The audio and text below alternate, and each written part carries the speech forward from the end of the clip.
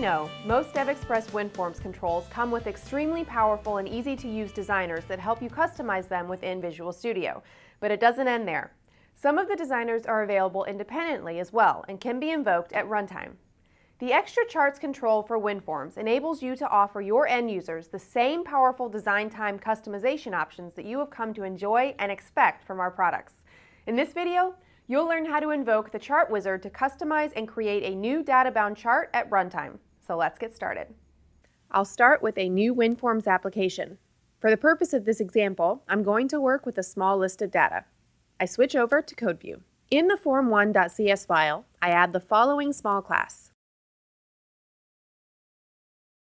Next, I'll create a class-level list object within the Form1 class.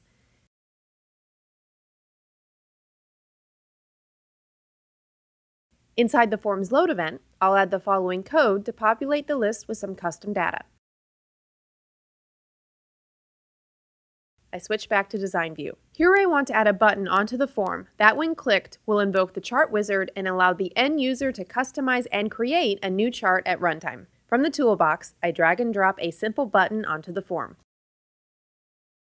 I set its text property to create new chart. I double click on the button to create a handler for its click event. Before going any further, I need to add references to the devexpress.xtracharts and devexpress.xtracharts.wizard namespaces. I go back to the event handler. First, I create a chart control object. I set its data source property to list. This is the custom list of data I created earlier.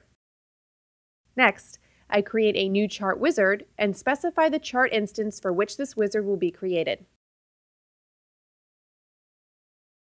I'll call it show dialog method to display the wizard. Finally, I need to add the code to display the actual chart when the wizard has completed. For this, I create a new form. I'll use the controls.add method to add the chart control to its controls collection. Additionally, I set the chart's dock property to dockstyle.fill so that it fills the entire client area. And the show method of the form object is called to display the form. And that's it. I run the application to see the results.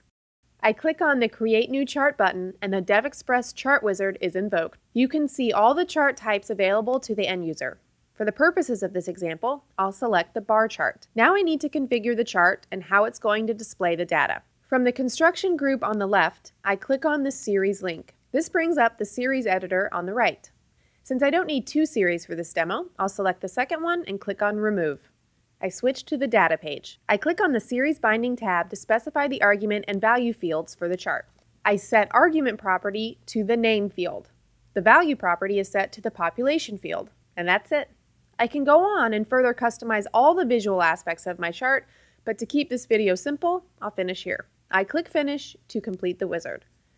You can see a new chart created based on the settings I specified using the chart wizard at runtime.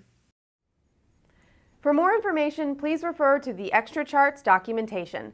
Thanks for watching, and thank you for choosing DevExpress.